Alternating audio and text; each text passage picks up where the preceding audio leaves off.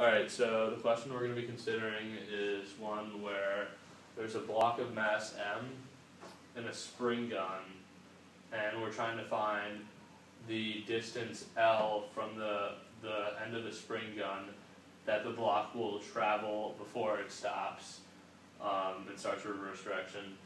Um, and we're gonna try and solve this in terms of the coefficient of kinetic friction, um, the mass of the block, the acceleration due to gravity, the distance of compression, the constant k um, of compression, and um, angle the angle of the incline.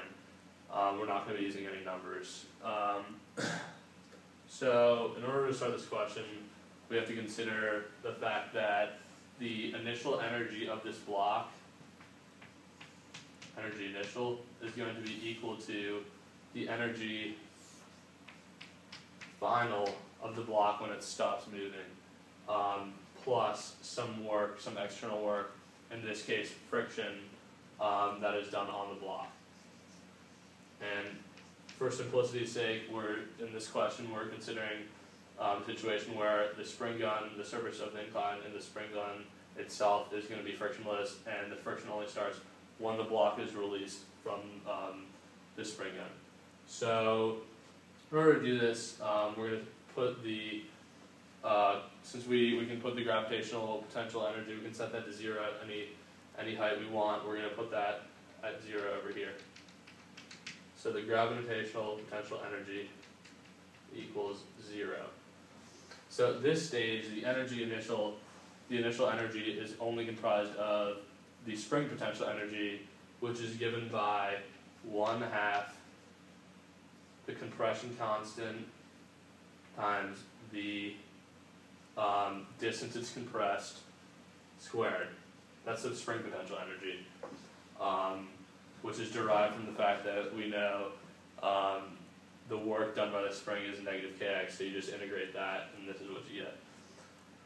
So you set this equal to the energy final, which is all potential, since there's no kinetic, because there's zero velocity, so the one half mv squared that would be there.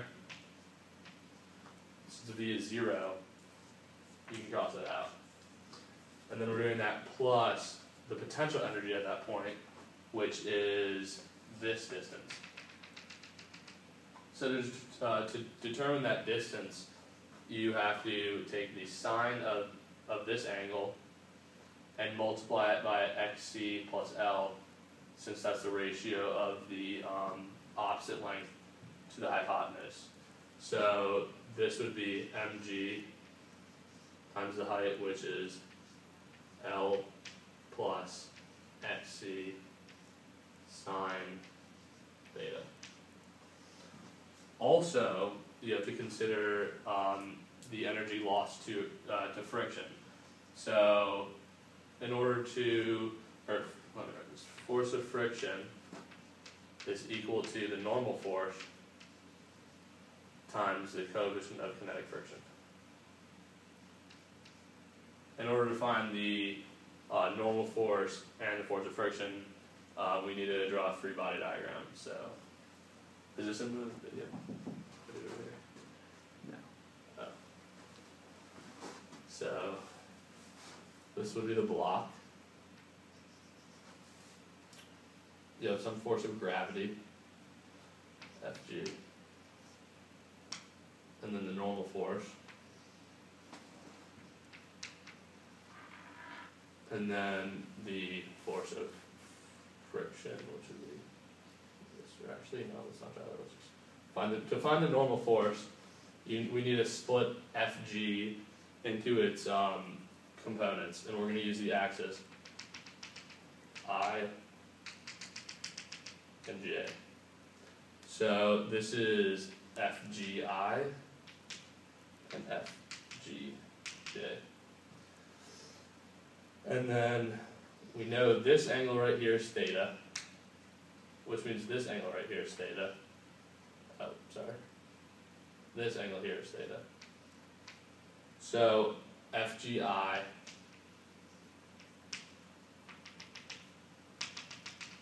is equal to the cosine, or the force of gravity, which is just mg, times cosine of theta. And then, um, Fn must equal FGI since the block is neither going through the surface of the incline or flying off randomly in some, some random direction. So Fn equals mg cosine theta. And since ff is equal to fn uk, we now know that um,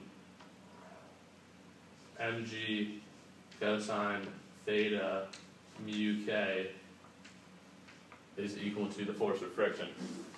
Now, since we're considering it from an energy standpoint, we need to dot the force of friction with um, the the vector displacement. So it would be the force of friction mg cos theta uk. Am I still on here? Alright, sorry.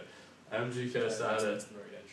what's that there? mg cos theta mu k dotted with um, the force of or the distance, the displacement, which is just L.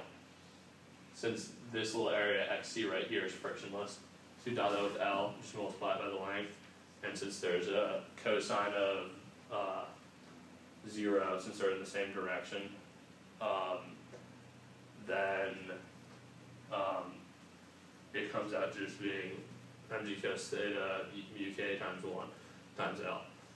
And then we must solve for L, which we'll do over here. So one half k x squared is equal to mg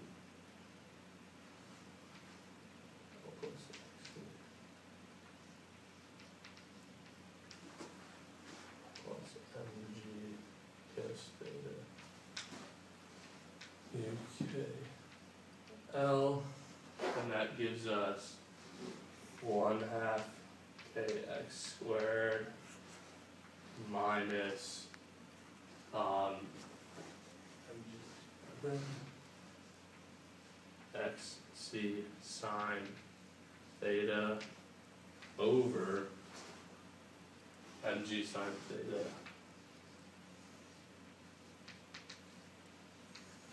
time, or plus UK and cos theta.